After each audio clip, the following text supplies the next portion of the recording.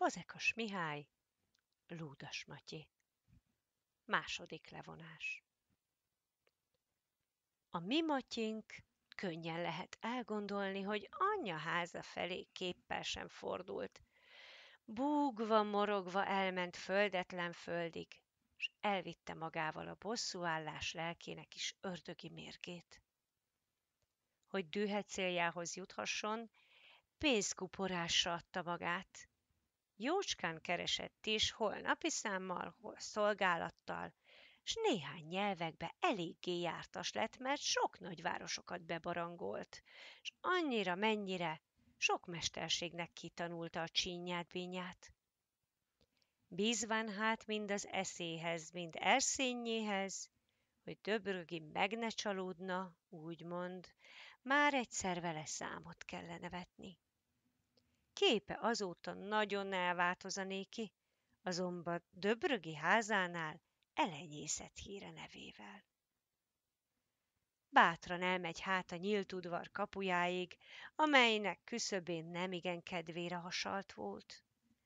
Látja, hogy a füstös nagyház helyére azóta pompásabb palotát újabb ízléssel emeltek. A fala fel van már építve, de a fedeléhez még faragatlan fák vagynak halmozva rakásra. Meg lesz már, így szólt Matyi, meg lesz Döbrögi verve? Elfordul onnan, veszen egy félkézi szekercét, zsebbeli ölmérőt, splajbászt egy írhakötővel, és egy vándorló olasz ácsformába jelen meg. Eljutván a nagy kastélyhoz, mint ahhoz értő a falnak szélét, hosszát mérkéli szemével. Onnan vizsgálóképpel megyen a farakáshoz, olykor fel felnéz, a fákat megmosolyogja, s csóvágatja fejét. Meglátja az úr is az embert, arra felé sétál, mit akar, megkérdezi.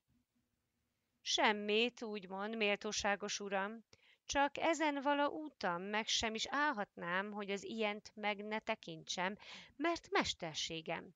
Látom, hogy akárki csinálta a palotában a kőmíves munka királyé, bár csak már fedelét láthattam volna.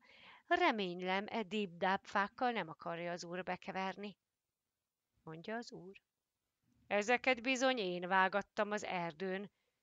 Csak hozzávetvén, jók, jók, úgy mond Matyi, apróbb házaknak, de nem így nagy kastélynak. Róma felé kell forgani, hogy pompás fedelet láthasson az ember.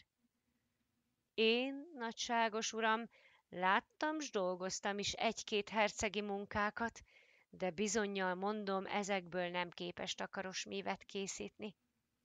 Kirántja mérőjét, mérkéli. Hmm, bekár, hogy öt újnyi hibázik. Ám de hisz e nem az én dolgom, senkit se gyalázok, se magamok nélkül más munkájába nem ártam. Menni akar, de az úr megtartóztatja. Barátom, még nekem úgymond nincs egy ácsal is alkum. Az úr hát járt az olasz földön? Tessék béjönni. Ebédje volt-e már ma? Ha a munkám fog tetszeni, nem fog nálam az országban nemesebb gazdára találni, elmosolyodja magát Matyi, és dicséri az úrnak építésbeli ízlését, sajnálja, ha ittentán alkalmatosabb fákat nem lelni ezeknél. Ó, mond Döbrögi, nincs a földön oly jeles erdő, mely az övénél jobb s gyönyörűbb fát tudna nevelni. Látni szeretné azt Matyi, Döbrögi pontba parancsol egy hintóba fogatni. Szakács tálaljon azonba! Míg bémennének, Matyi mondja, hogy arra való fák, hogyha találtatnak, jó volna talán kiegyezni, sőt, tám egyúttal vágatni is. Egybe az ispánt szólítsák, kétszáz fejszés rendeljen az erdő sarkához. Készen az ebéd, jól laknak, a hintó ott terem, egy pillanat alatt kint vagynak az erdőn. A fejszések is ott vagynak már. Járja az úrral a roppant tölgyest Matyi, és vágatja, a szép fát sejt meg. Már minden munkást elrendele széjjel kedve szerint, nem tud még egy szál fára találni. Beljebb mennek hát, vizsgálódnak. Matyi egyszer mondja, hogy ő már lelt, egy sűrű völgybe lecsalja. Ilyen lenne derék, ha hogy ölnyi kerülete volna, Döbrögi mellé ás által próbálja ölelni, akkor megkapván Matyi túlnan két keze szárát egy guzsal, melyet csak azért font, hogy összeszorítja. Nem vagyok én, uram Ács, hanem Ludas Matyi. Úgymond kit Ken megcsapatott, és elrablott a libáit. S háromszor fogad hogy visszapüfölgeti Kenden.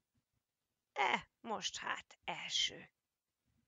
Vág egy jó tölgyfa husángot, s azzal tarkótól talpig meghányja keményen. Döbrögi hasztalanul hánykódott, mert famohával a száját jól bétömködte, azonban az erdő rengett a sűrű kopogástól, s a rohanó fák vadmorgásaitól. Mátyás az urat megagyalván és a rúdárát a zsebjeiből kikeresvén törli szemét, száját és a sűrűbe elillant. Már a fejszések nem lévén munka, pihentek. Már jobbára ledöntve hevert a címeres erdő legszebb része, menő félen már a nap, az ember bárhat dologtalan is, de az ácsorgást is elunja. Mégsem jön sem az úr, sem az ács. Végtér az ispán nem veszi a dolgot tréfának, hoppogat. Erre hoppot mond itt, ott, meg amott a rengeteg erdő. Hallgatnak, de csak a bagyogó halási szakasztják félbe az alkonyodást követő vadon estveli csendet. Már most minnyáján kúrjantgatnak, a hangok özönje zengeti az ordont, beljebb, beljebb morog, amíg mélyen elnémul. Figyelem van utána, sehonnan egy kukhang se felel. Most, most szeppen meg az ispán, széjjel rendeli a látványságot, hogy az erdőt hajtsák meg, mert már bajnak kell lenni akárhogy. Amint egy-néhány hajtók a völgyet elérik, hallanak egy olyan horkanást, mint mikor a kant megdöfik és szívét ért sebje miatt az utolsót elhergette. Mi az?